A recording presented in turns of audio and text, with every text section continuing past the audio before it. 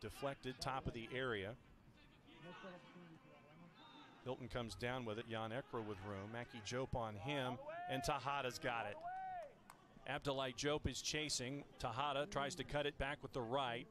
Top of the area. Will chip it with the right and in. Juan Tejada gets it past Ben Lundgaard in the 81st, and it's 2 0 Tampa Bay. Tejada's played onside because Jadama and Jope are not in sync yet. And that's a beautiful finish from Juan Tejada. He gets past Jope, who tries to recover. Jadama tries to hold it.